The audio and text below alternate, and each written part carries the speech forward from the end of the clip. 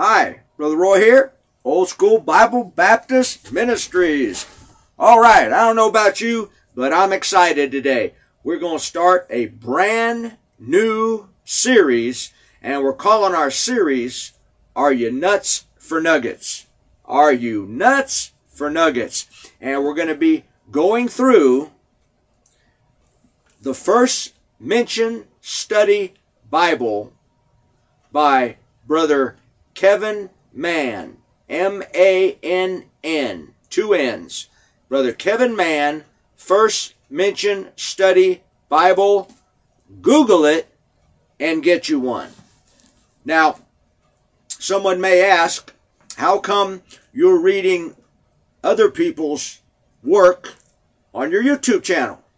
And let me first of all say that uh, Dr. David Walker, who we just used his books in our last two, is my personal friend, and it was done at, with his permission. And Brother Kevin Mann, who put together this First Mention Study Bible, is also my personal friend, and this is done at his with his permission. And uh, let me put it like this: Oh, Clint Eastwood said, what did Clint Eastwood say? Clint Eastwood said, a man's got to know his limitations. And uh, there are just guys who are way smarter, more organized than me. and so I would much rather share their stuff with you than the ramblings and fumblings of my own limited brain. And you know, that that's what I've been doing for decades. I have been sharing what I've been taught.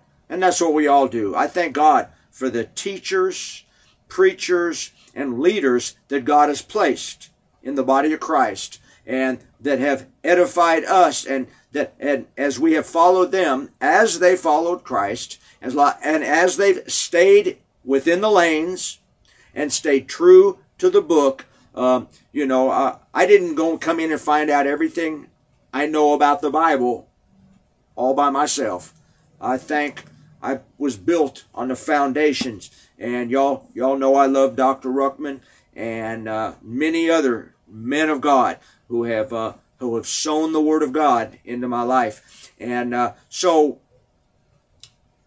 Brother Kevin Mann is one of them. And this guy is ding, ding, on the money. He's another one like Dr. David Walker, another one like Dr. Ruckman, uh, that, uh, man, 99.9% of the time, anything I read is like, yeah, yeah, yeah. So that's why I've chosen to uh, share this with, with you is because it's just so good. And he is a math guy. And he's, I tell you, he reminds me a lot of this other guy um, that's on YouTube. And that's Brandon Peterson. Truth is Christ. Brandon Peterson, who just ha- also has a mathematically genius mind. And these guys are actually going in and finding stuff in the book that I don't think anybody else has brought to our attention before. And it's not, if they're not making stuff up, but there's just stuff in here that hasn't been dug out in the past. And I, I really, really endorse these guys, and, and, and they're not making stuff up for likes, clicks, shares. They're not doing it for attention, for notoriety. They're not trying to uh, uh, be known because they're seeing and hearing some new thing. Amen. Because there's a lot of that out there. There's a lot of danger. There's there's guys that are willing to sacrifice the truth just to be the guy with the new novel revelation and oh you need to listen to me because I got I got to correct everybody else. I got and those guys are heretics. Amen. And uh, we've you know uh, we, we we've named we've named some of them in in previous videos, but there are guys that have stayed true to the book and and stayed within the lanes. And brother Kevin Mann is one of them. So I think we'll start these videos off as saying, uh, uh, if you're ready, right? grab that old cup of mud, uh, pull up a seat, and let's man it up. Amen. Let's pray first. Father, we love you. We thank you for Jesus. We thank you for our salvation. We thank you for the, for the Holy Bible and help us to just dig nuggets out of your word today. In Jesus' name. Amen. Amen. Amen. Okay, so, man, this thing is purty. I'm telling you, get you one lamb skin. This ain't bonded leather, man. This is 100% pure lamb skin through and through. Got that new car smell, man. Yeah. But what's inside? Ooh wee, ooh wee, ooh wee. Amen. So, the uh, the first section in here, and we'll just and with this introduction, which I've already used up some time, uh, we're just going to go through this section, which is the basic meaning of numbers in Scripture. All right, um, and uh, we, we're beginning nuggets in Genesis, and so we're gonna we're gonna lay the groundwork on biblical numerics before we even get out of the garage here. Amen. So uh, we look at uh, Genesis chapter one. We find God, creation, and the universe, union and singularity. So one is one of the numbers for God. The other is three. Three in one and one in three, and the one in the middle died for me. The Godhead is not one plus one plus one equals three, but the Godhead is one times one times one equals one. These three are one. 1 John 5 7. 2. Genesis 2. We see one divided. Eve taken from Adam. Two individuals. Two is the number for division and separation. And the number for witness. She is bone of my bone. Matthew 18 16. That in the mouth of two or three witnesses every word may be established. Genesis 2 and 23. And Adam said, This is now bone of my bones and flesh of my flesh. Amos 3 3. Can two walk together except they be agreed? Genesis 3, chapter 3. We have three personages the serpent, Satan, the woman, and the man. There is three is the number for any trinity, whether holy or unholy. The Holy Trinity is God the Father, God the Son, or Word, and God the Holy Ghost. The unholy Trinity is found in Revelation 16 13. The dragon, Satan, the beast, the Antichrist, and another beast, the false prophet. Genesis 4 4. 4 is the number for the earth.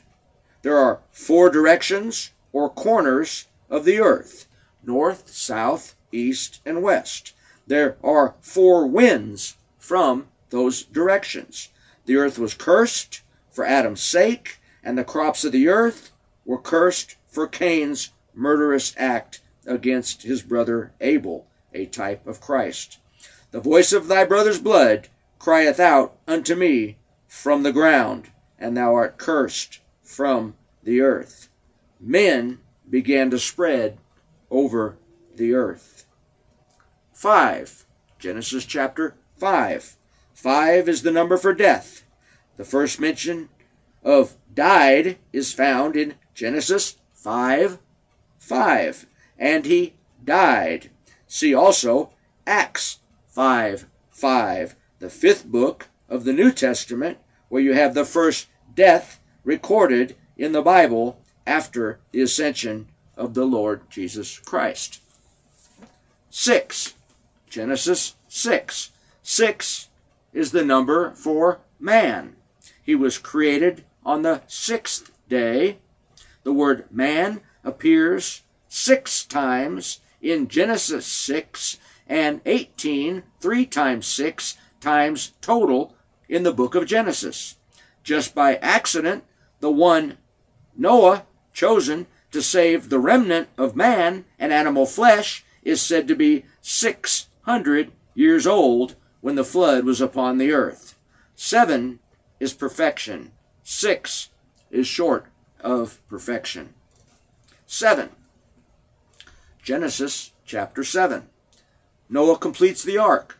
Seven is the number for completion, perfection, and oath. The number seven is the word for Sabbath in the Hebrew language. Man is totally and destroyed in Genesis 7. Man is totally destroyed in Genesis 7. Genesis 8. Totally and completely destroyed in Genesis 7. Okay, I think we found a little typo. Amen. All right. Genesis 8. 8 is the number for new beginnings. There are eight people saved from the flood in the ark. The eight in the ark stepped out onto a whole new world that had never been like this before. Amen. 8. Genesis 8. Genesis 9. 9 is the number for fruitfulness. God told Noah in the new world to be fruitful and multiply. 9 is also the Holy Ghost depicted by the dove sent from the ark. 10. Genesis 10. 10 is the Gentile kingdoms. In Genesis 10:10, 10, 10, we see the first use of the word kingdoms in scripture. Noah was the 10th from Adam. 11. 11 is the number for tribulation, confusion, disorder, and chaos. In Genesis 11, we find the word Babel. There is where the languages were confounded. 12. Genesis 12. 12 is for Hebrews. Abraham, the first Hebrew, is called out in Genesis 12. The first use of the word Hebrew is found in Genesis 14:13 and the 12th word in the verse. 13. Genesis 13. 13 is without controversy the number for rebellion, wickedness, and sin of all types, sodomy, and anything said to be an abomination or is accursed in Scripture. Notice Genesis 13:13, 13, the first use of the words wicked sinners, 13 letters, concerning the sin of homosexuality, 13 letters, the cities of Sodom and Gomorrah, 13 letters, being destroyed with fire and brimstone, 13 letters in Genesis 13. Just a coincidence? I think not. God's fingerprints all over the King James Bible. Amen. We will bring attention to these and other numbers and their meanings as we progress. The word God appears 32 times in 31 verses of Genesis chapter 1. The first verse to exclude the word God is verse, you guessed it, 13.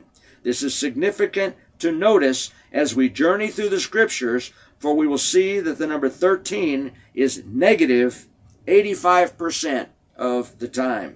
The combination of a man, 6, and its multiples, and a 13 rebellion and its multiples is 100% of the time a spiritual train wreck, which we will see played out over and over again in the scripture.